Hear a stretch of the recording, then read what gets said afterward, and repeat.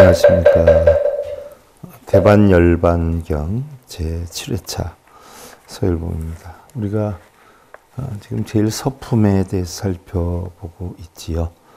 어, 지난 시간에 음, 부처님께서 가사하여 자연 현상은 정법을 사라지게 만들지 않는다. 그러나 어, 쓸모없는 인간들이 쓸모없는 인간을 우리 불가에서는 음, 사자충이다라고 표현을 하지요. 사자 몸에 있는 기생충이다 이렇게 표현을 해요. 그런 쓸모없는 인간들이 나타나서 이 정법을 사라지게 만든다. 정법이라고 하는 것은요. 시비분별이 없는 그런 바른 법을 얘기를 하죠. 다시 얘기를 하면 중도의 도를 얘기하는데 음, 뭐가 좋다 나쁘다 뭐 공덕이 있다 업장이 있다 이런 건데 시비 분별을 하게 하는 거지 않아요. 그러면 외도라라고 하죠. 사법이다라고 해요. 어. 근데 이런 사법은 누가 만드느냐? 자연 현상이 만들지 않고 인간이 만든다.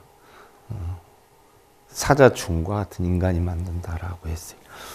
비구들이여 바른 삼매를 개발해야 된다. 바른 삼매다는 것은 우리가 팔정도 가운데 정정을 얘기하는 거죠.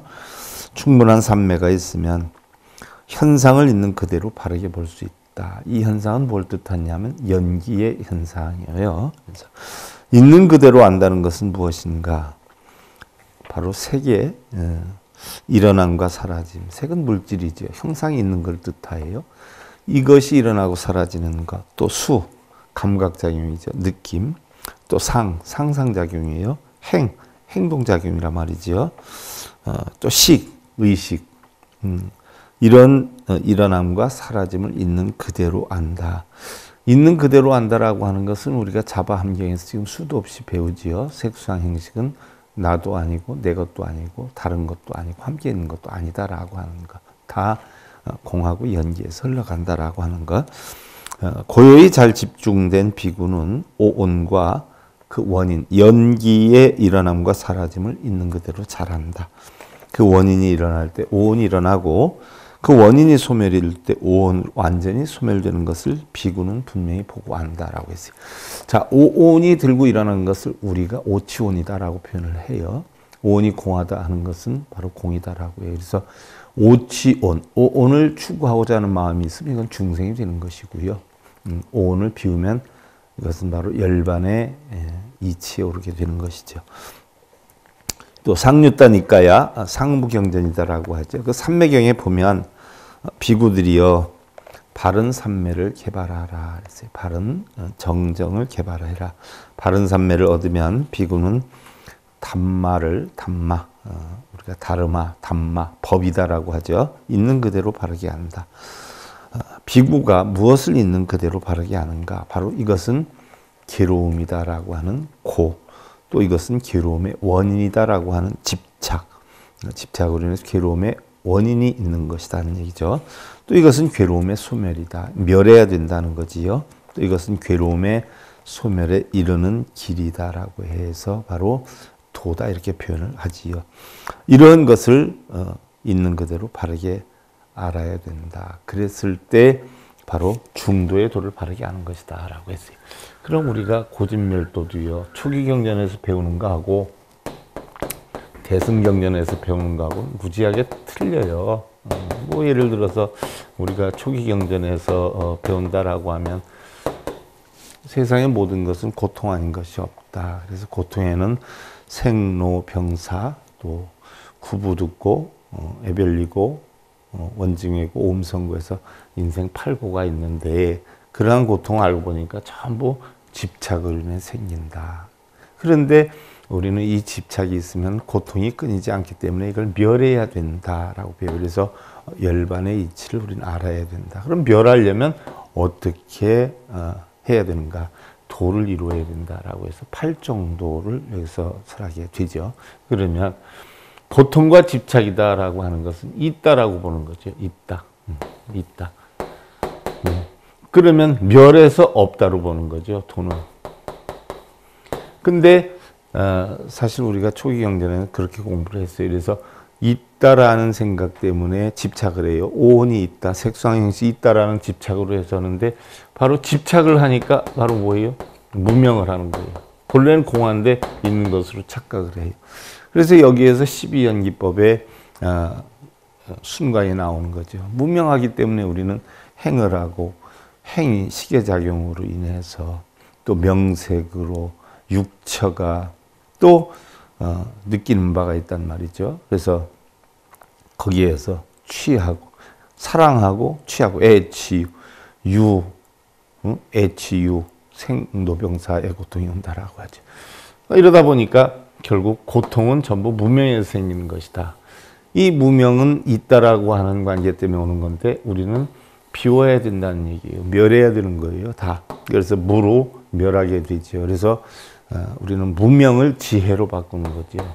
그래서 지혜로 바꿔가지고 결국 무명을 없애면 무명이 무너지고 행이 무너지고 식이 무너지고 육식이 무너지고 명색 육식이 무너지고 그 다음에 어, 수, 취, 애, 애, 취, 유, 생, 노병사 고통이 전부 무너진다는 게 오죠. 그래서 바로 유도 아니고 무도 아니다 하는 이치를 알게 되면 이것을 우리는 중도다라고 하는 얘기죠. 그래서 어, 이 사성제를 처음 부처님이 음, 이런 12연기의 순관역관 이런 것을 처음 깨달았는데 음, 녹야원에 가서 초전 법륜을 하는데 에, 그 다섯 비구한테 처음 하지 않았어요. 근데 그들이 알아듣기가 굉장히 힘이 들 것 같으니까 나름대로 12연기법을 다른 방법으로 바꾸어서 부처님이 그네들한테 방편으로 어, 바르게 이끌기 위해서 가르침을 준 게 이게 사성제예요. 이게 사성제 팔정도. 그래서 사성제 팔정도의 초전 법륜이 된 거지요. 그러니까 12연기 이치를 이렇게 그 사람들이 알아듣기 쉽게 바꾸어서 설명을 한 것이 바로 이 이야기예요. 그래서 중도의 도를 바르게 하는 것이다 하는 이야기고. 이것은 우리가 보편적으로 유루라 그러고 이건 무루라 그래요. 근데 유무가 둘이 아니다는 이치를 하는 걸 우리는 중도다 이렇게 표현을 하는 거죠. 그래서 반야경만가도 음, 무안이비설신이 무색성량 미촉법 나오잖아요. 눈기 고용음도 색성량 미촉법도 없고 또 무고진멸도, 고진멸도도 사실은 없는 것이다. 우리가 깨달음을 얻게 하기 위해서 뭐 사성제 팔 정도를 설했지만 깨달음을 얻고 나면 눈기 고용음뜻도 색성량 미촉법이라는 작용도 또 심지어 무고진멸도 또 무지영무득 역시 얻을 것도 없다는 이치를 알게 되죠. 이런 이치를 알게 되는 게 바로 중도의 도예요. 그래서 고진멸도도 초기 이, 이 하근기로 배우느냐, 중근기로 배우느냐, 상근기로 배우느냐에 따라 다르지요. 그래서 상근기로 가면 바로 아공, 법공, 구공을 모두 없앨 때 우리는 부처가 된다. 부처가 되는 관점에서는 이것이 전부 공으로 돌아간다는 이야기. 그래서 초기 경제는 고진멸도 있지 않아요. 그래서 열심히 배우잖아요. 그런데 고진, 고진멸도를 터득하면 이것도 공이다 하는 이치로 넘어가지요. 중공기에서. 이 법공인데 고진멸도도 공이다 하는 이치라는 게 법공이에요. 그럼 다시 구할 것도 없게 되지요. 구할 것도 없다는 이치를 알면 바로 보살에서 부처의 경지 이르는 것이죠. 자, 오늘은 시신상의 무량제 충지 소삽식 시신취의 탐욕 옥박이요 시신가학이요 유여사구라 시신부정 구공상류라 몸은 항상 한량 없는 모든 벌레로부터 쪼아먹히게 되는 것이요 이 몸은 더러운 냄새와 탐욕에 갇혀서 묶여 있고 이 몸은 추한 것이 마치 죽은 개와 같으며 이 몸은 아홉 구멍으로 더러운 것이 흐르고라고 해있어요. 그러죠. 우리 몸은 항상 벌레로부터 쪼아 먹힌다라고 했는데 이 벌레를 꼭 우리가 뭐 유충이나 벌레로 생각할 게 아니라 걱정, 근심, 번뇌, 괴로움, 탐진치로 이렇게 생각해 볼 수 있는 것이고요. 또 이 몸은 더러운 냄새와 탐욕에 갇혀 묶여 있고 그렇죠. 더러운 냄새다 하는 것은 자기 마음의 예, 향기예요. 그 다음에 탐욕에 갇혀 묶여 있다라고 하는 것은 결국 자기의 아만, 아상, 아집 이런 대로만 하려고 하지 않아요. 모든 사람의 삶이 그래서 오히려 자기의 사고관에 묶여서 있고 또 이 몸은 추한 것이 마치 죽은 개와 같으며 어, 어그 전에도 얘기했지만 어, 우리의 몸이 사실은 굉장히 추화되는 거예요. 예를 들어서 우리가 어, 짐승들은 그냥 우리에 가둬놓고서는 음, 키우니까 지저분하고 우리는 굉장히 깨끗한 것 같지만 똑같이 우리나 짐승이나 씻지 않고 그런 우리에 갇혀 생활한다 하면 그 짐승들이나 다를 바 하나도 없다는 거예요. 오히려 더러운 사람은 짐승들이 더럽다고 어, 도망간다는 거죠. 거기다가 아홉 구멍으로 더러운 것이 흐른다라고 하는데 우리는 음, 몸에 아홉 구멍이 있지 않아요? 눈, 귀, 코, 음? 혀, 몸, 또 어, 어, 항문, 뭐 이뇨작용하는 부분까지 전부 더러운 물질이 이물질이 나오고 어, 냄새가 나는 것 아니에요. 뭐 젊어서 어, 응? 마른 자리 질어지고 또 진 자리 말라진다 하는 그것이 그런 거 아니에요. 그래서 우리 사람에는 굉장히 더러운데 우리의 몸이 깨끗하다고 생각하면 그 자체로 번뇌를 만들죠. 그래서 우리가 부처님 마지막으로 음, 수행처를 네 군데 마음에 두어라라고 했을 때 사념처를 두지 않았어요. 그래서 거기에서 신념처, 수념처, 십념처, 법념처 했는데 신념처다라고 하는 것은 몸을 부정하다라고 생각하려는 거지요. 몸을 부정하다라고 생각 못하기 때문에 몸으로 인해서 이뻐지고 싶어서 뭐 성형도 하고 얼마나 몸으로 인해서 본내가 많아요. 근데 사실은 냉정히 보면 어, 우리 본능이겠죠. 이뻐지려고 하는 마음, 특히 뭐 남성들도 그렇지만 여성들은 더 한데요. 그것이 오히려 어, 많은 번뇌를 만든다는 거지요. 어. 자, 시신 여성 혈육근골 피과기상 수족 이위 각정로 모기 규공 두위전당 시망처중이라 그랬어요. 이 몸은 마치 성과 같아서 피와 살과 뼈와 가죽이 그 위를 덮고 있으며 손과 발은 적을 물리치는 망로가 되고 눈은 구멍이 되고 머리는 전당이 되어서 마음의 왕이 있는 곳으로 여시 신성 재불세존 기소 어, 지소기사 범부 인상소 미착 탐음 진해 우치나찰 지주기중이라 했어요.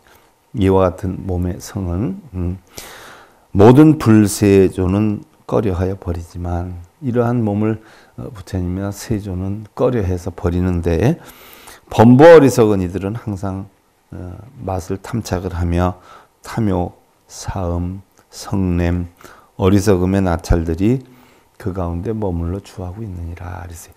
자, 이런 나찰들이 머물러서 주하고 있다라고 하니까 실제로 뭐 그런 나찰들이 우리 몸에 있는 것으로 아는 사람들도 있을 거예요. 왜냐하면 어, 부처님 경전은 이런 비유를 많이 들었는데 깨달음을 얻으려면 여덟 섬네 음, 말에 우유를 마셔야 된다라고 하는 게 경전에 있지 않아요. 그러니까 여덟 섬네 말에 우유를 마시면 깨닫는 줄 알고 있는 분들이 있어요. 나무 아미타불을 진심으로 한 번만 하면 극락에 간다니까 진짜로 그걸 하는 사람이 있어요. 나무 아미타불을 진심으로 한 번만 하면 극락에 간다는 것은 번뇌하는 마음이 쉬니까 그게 극락 가는 거지. 내가 실제로 극락에 가는 줄 음, 오인을 하는 수도 있고요. 여덟 쌈네 마리다 하는 것은 부처님의 진리가 8만 4천 음, 법문이기 때문에 그 진리를 깨달으면 부처가 될 수 있다는 이야기지 우유를 먹어야 된다는 거 아니거든요. 바로 이런 식이에요. 음, 이런 탐진치의 예, 나찰들이 어, 몸에서 살고 있다라고 하니까 실제로 나찰들이 있는 줄 알아요. 탐진치의 마음이 예, 우리 몸과 마음을 꽉 채우고 있다는 얘기죠. 시신불견, 유여노위, 이란 수말, 파초지수, 시신무상, 염염불주, 유여전광, 폭수, 환염, 여겨화수, 수화, 수압이라 그랬어요. 자, 이 몸은 견고하지 못해서 마치 갈대, 이란, 난초지요. 갈대나 난초, 수말, 물거품, 또 파초와 같으며 이 몸은 무상하여 잠시도 머물지 못하며 무상이다 하는 것은 뭐 우리 맨날 배우는 게 무상 아니에요? 무상. 재행 무상이다라고 하는데 결국 항상 하지 않는다는 이야기예요.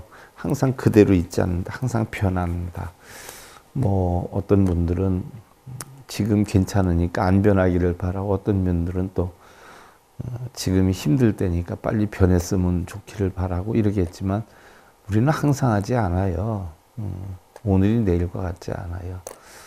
음, 뭐 좋게든 나쁘게든 변해가는데 그냥 변해가는 거 아니에요. 인연에 따라 변해가요. 내가 부지런하면 부지런한 원인을 만들어서 그 결과가 바뀌어갈 것이고요. 게으르면 게으른 대로에 대한 인연에 따라서 결과가 바뀌어 가겠죠. 음, 어떤 분이 참 멋진 얘기 하시더라고요. 엄청 멋지게 하는데, 어, 제가 거기서 또 얻은 게 많아요. 굉장히 많아요. 어, 예를 들어서, 음, 어려움을 극복해 내게 되면 성공을 하게 된다. 이렇게 표현 하는데, 바꿔서 얘기하면, 성공을 하는 자는 어려움을 극복해 낸다는 이야기죠. 그러니까 사실은 어, 똑같은 말이라도 결국 우리 이 노력의 여지는 성공하기 위해서 있지 않아요. 물론 성공의 가치 기준이 다 다르지만 그러나 어떻게 됐든 뭐 어, 자기 뜻하는 바 목적을 이루기 위해서는요 그만큼 원인을 만들어야지 어, 원인은 만들지 않고 뭐 개서 빌고 절하고 이렇게 해서 형성되는 건 아니지요. 배가 고픈데 배부르게 해달라고 얼마를 빌면 배가 부르게 되겠어요? 그러니까 그건 부처님 가르침도 아닌데 지금 우리나라 불교는 그런 게 너무 많이 깔려 있죠. 애석하기도 하고 안타깝기도 하고 아무리 그 전해준 사람이 공부를 안 했어도 모르면 그냥 모르는 대로 끝나야지 거짓으로 전해주면 안 되죠. 또 거짓으로 전해주는 그 이면에는 마음에 무슨 생각을 하고 있을까요? 또 그냥 또 해요? 뭐 또 대가를 바라고 하지 않아요? 그러니까 얼마나 잘못되고 있는 거예요. 그래서 이 몸은 무상하여 잠시도 머물지 못하고 마치 전광 번개죠. 어, 폭포 또 환염 아지랑이 어, 역시 화수 음, 물에 그림 그리는 거 어, 이런 것과 같이 그림 따라 합해지기도 하고 우리의 몸의 변화, 우리 인생의 변화, 세상의 변화에 대해서 표현을 한 거예요. 시신 이게 유여한 유여한 임준대수 시신불구 당유호랑 치효 조치 오작 아구 치소 식담이라 그랬어요. 이 몸은 쉽게 무너져서 자 부처님이 열반할 때에도 가르침을 너무나 많이 주셨어요. 그죠? 강가의 절벽에 선 나무와 같이 이 몸은 오래지 않아서 호랑 여우나 일이죠. 또 치효 솔개와 부영이에요. 부엉이 조치 독수리 또 오작 까마귀나 까치 이런 거나 줄인 개에게 뜯기어 먹힐 것이니 옛날엔 죽으면 들판에서도 많이 죽고 아니면 고인돌 같은 데다 놓고 하니까 이런 무 짐승들 벌레들한테까지 다 뜯기어 먹게 될 것이란 이야기예요. 수유지자 담락 차신 영이 우적 성대해수 불능구설 시신무상 부정취해라. 지혜가 있는 사람이라면 이렇게 허물어져 가는 변해가는 몸뚱이를 어, 누가 즐거워하겠는가? 차라리 소발자국에 바닷물을 담을지라도 소발 자국에 바닷물을 담으면 얼마나 담겠어요. 그죠? 차라리 그렇게 할지라도 이 몸이 무상하고 부정하고 더러운 것을 온전하다고 말할 수는 없으리. 그러니까 어, 뭐 지금 우리가 명예나 권력이나 능력이나 여건이나 아무리 좋은 여건에 있다라고 하더라도 과연 그게 얼마나 가겠어요? 세상에 힘 있는 자들 보세요. 명예나 권세 있는 사람들 보세요. 어, 얼마나 가겠어요? 있을 때는 큰 소리 치고 막말하고 다른 사람 비아냥거리고 무시하고 하지만 물론 거기에서 내려오면 그 주변의 영향 때문에 힘이 있어서 다소 부릴 수도 있겠지만 음, 얼마나 오래 가겠냔 말이죠.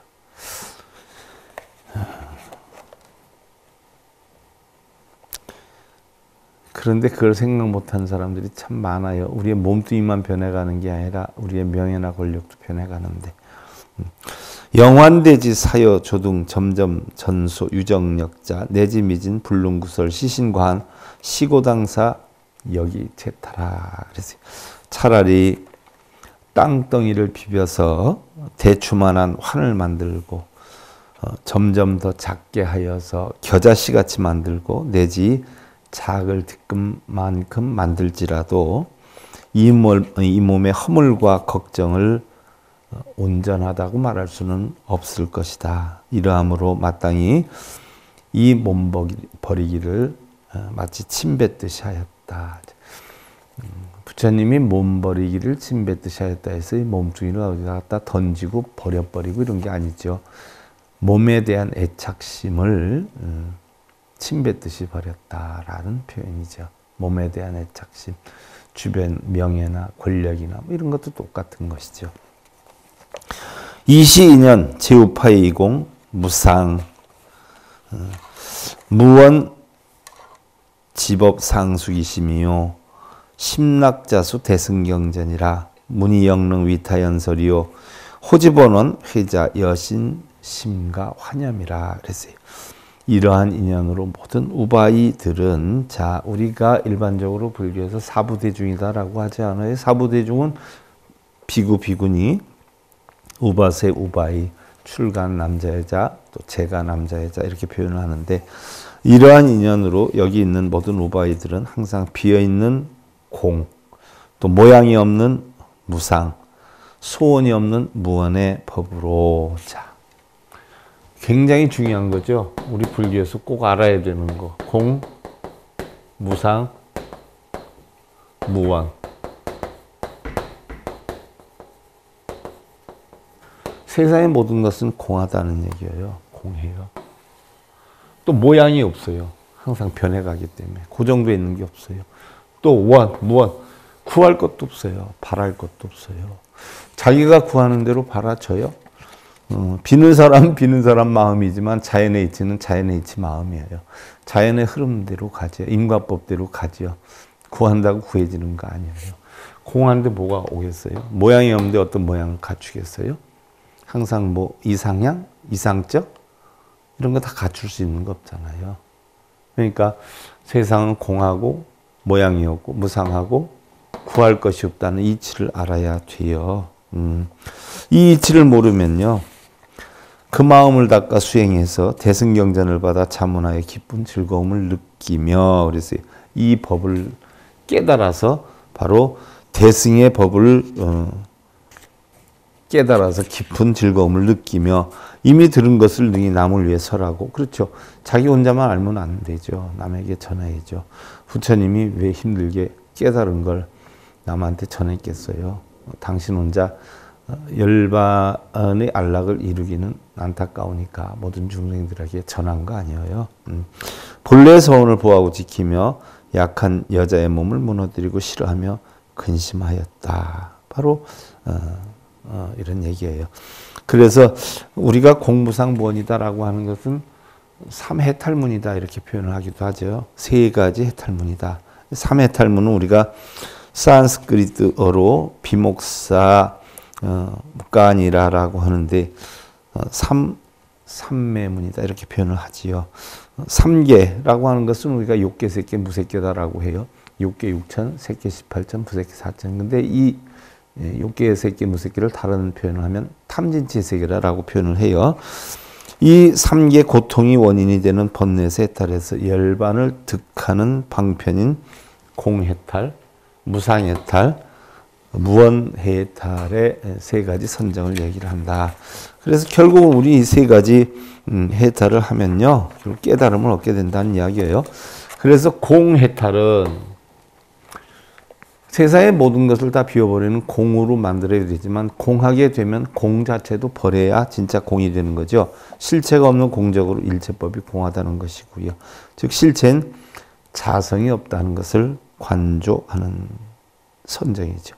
달리 뭐 공삼매, 공삼마지다 이렇게 표현을 해요. 또 무상의 탈문이다라고 하는 것은요. 일체법에 차별이 없다 하는 이러한 것을 관조하는 선정이죠.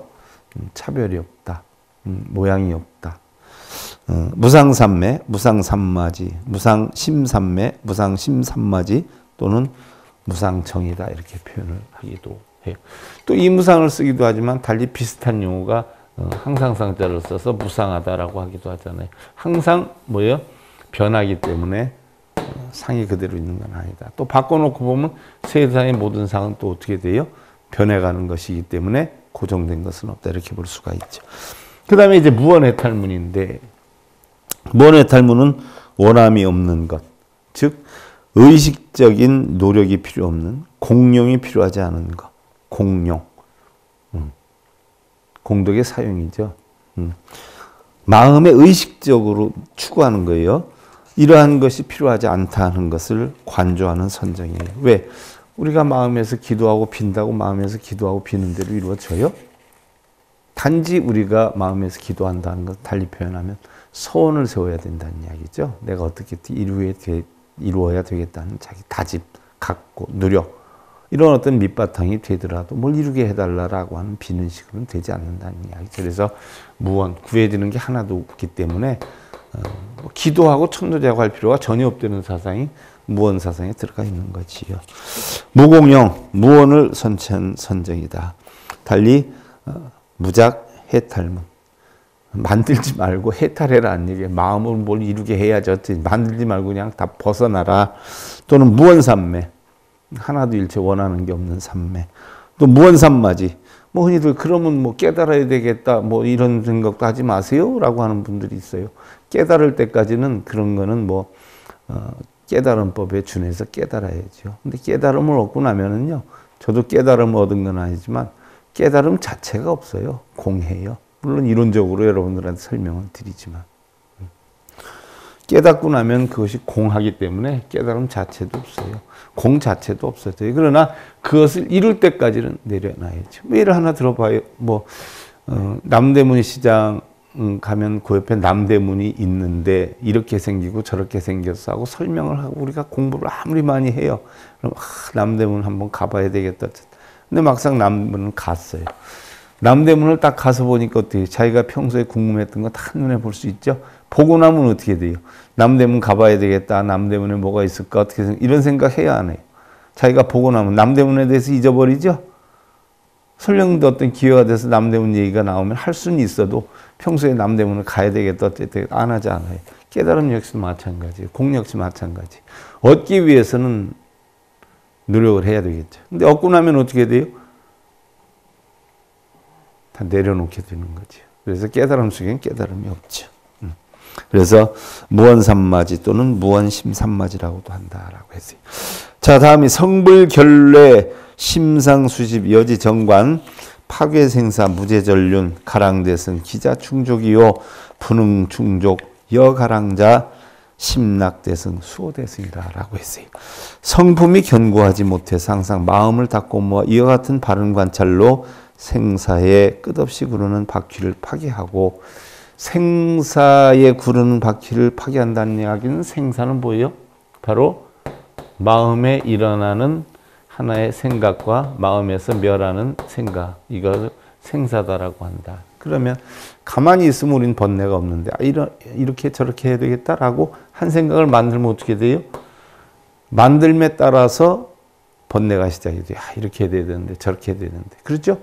이것으로 인해서 번뇌가 시작이 돼요. 그래서 생사를 만들지 마라, 생사를 초월하라는 것은 마음에서 일부러 자기가 의식적으로 어, 하는 마음을 만들지 말아라는 얘기.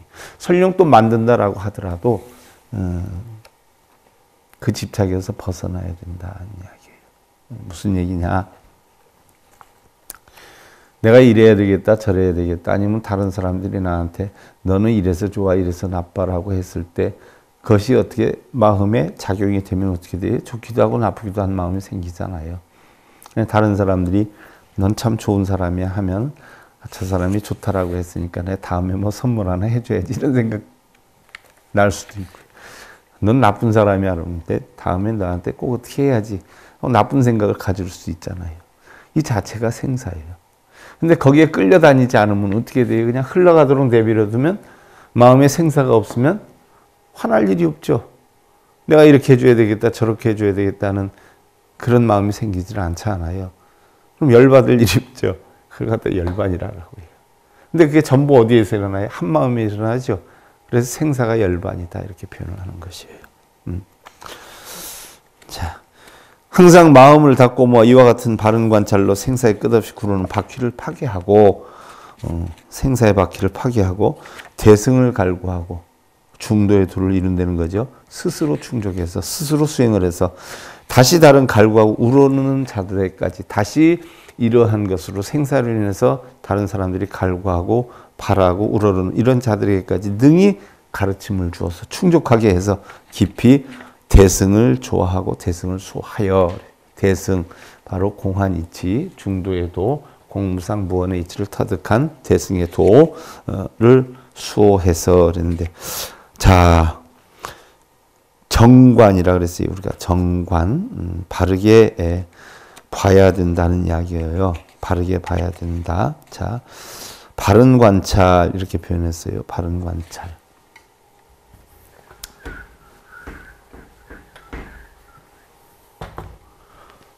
굉장히 중요하죠. 결국 우리가 팔 정도를 하려면 바르게 관찰을 해야 우리는 팔 정도를 할수 있어요. 깨달음이 이룰 수도 있어요. 그럼 이 바른 정관이다. 라고 하면 뭐라고 하느냐. 용수보살이 가장 주장했던 게 뭐예요? 중관사상 아니에요? 중관사상? 어. 중도에 도로 관하는 사상. 이걸 정관이라고 해요. 그래서 어, 팔불중도다라고 하는 이야기를 했죠.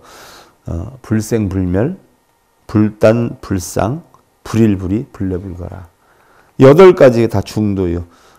세상의 모든 이치는 공한 이치 가운데는 생도 멸도 없고 또 단상, 어, 끊어지는 것도 항상 하는 것도 없고 또 불일불이 하나도 아니고 다른 것도 아니고 또 불내불거 오는 것도 가는 것도 아니다라고 했어요. 자, 여기서 우리가 불생은 모든 현상이 생겨난다는 생에 대한 집착을 또 불멸은 모든 것은 사라진다는 멸에 대한 집착을 여의게 하기 때문에 그 중도를 뜻하는 것이다라고 봤어요. 다른 구절도 마찬가지죠. 역사적으로 이 팔불 중도는요. 팔불 중관, 팔불 정관, 팔불 연기, 무득 중도, 무득 정관 얻을 것이 하나도 없는 바른 관찰이라는 얘기죠. 풀이 정관 둘이 아닌 정관이에요. 팔도 등의 다양한 이름을 불렸지만 오늘날은 일반적으로 정관을 팔불 정도 연기사상으로 정의하는 편이다라고 했는데 이 정관이 결국 뭐예요? 정법이에요. 음. 이러지 않은 건 전부 뭐예요? 사법이에요. 근데 뭐 여러분들은 경전에 있는 건 정법이고 경전에 없는 건 사법인 줄 아는데 경전에 있는 것도요, 90%는 사법이 많아요. 왜? 대승 비불설이라 방편으로 설한 것이 많기 때문에 방편으로 설한 것. 그래서 정법이다 하는 것은 바로 이런 중도의 사상이 정법이고요. 중도 사상이 벗어나는 것은 다 사법이에요. 어. 자, 인도에서 대승 불교의 사상적 바탕이 되는 공사상은 반야부와 중관부를 통해서 발전이 됐죠. 자, 반야경전도 제가 이제 뭐, 음, 성철 스님 배일본문 끝나면은 바로 대품 반야경 600권짜리 아마 우리나라에서 최초로 제가 해설을 하게 될 텐데 여러분들한테 전해드리려고 해요. 바로 이 반야부, 반야사사. 금강경 그렇게 알려져 있지만 금강경이 반야부의 600품 가운데 570 7번째 품 하나에 해당되는 게 금강경이에요. 그게 600가지니까 600품이라는 거지. 음, 현장 스님이 고 최초로 번역을 했는데 현장 스님도 혼자 하신 게 아니라 수십 명이 결국 170년 동안에 걸쳐서 했다라고 하죠. 모르겠어요. 여러분들한테 얼마나 제가 많이 해드리다 갈지는 몰라도 웬만하면 끝까지 이걸 다 해드리고 싶은데. 음.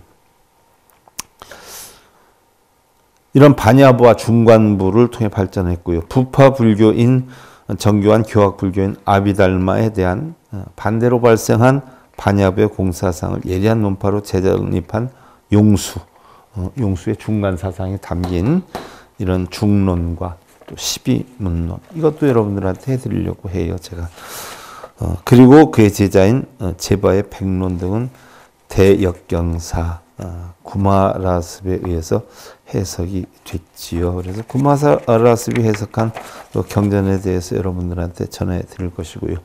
일반 부처님이 지금 열반경에 대해서 참 많은 공부를 하게 되어 다시 예, 우리가 했던 것을 어, 복습하는 차원으로 여러분들하고 하게 되는 건데 자 오늘은 여기까지 하고요. 다음 시간에 이어서 살펴보는 것으로 하고요. 오늘 열반경 제 7회차 어, 서기를 보였습니다 감사드립니다